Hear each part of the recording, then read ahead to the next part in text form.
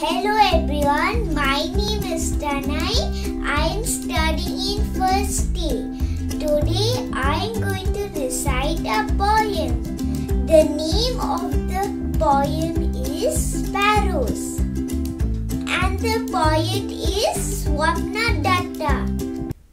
Sparrows on the mango tree, sparrows on the grass, sparrows on the window sill and on my looking glass, sparrows on the gravel path and on the garden chair.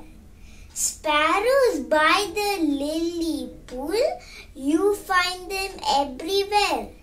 Thank you.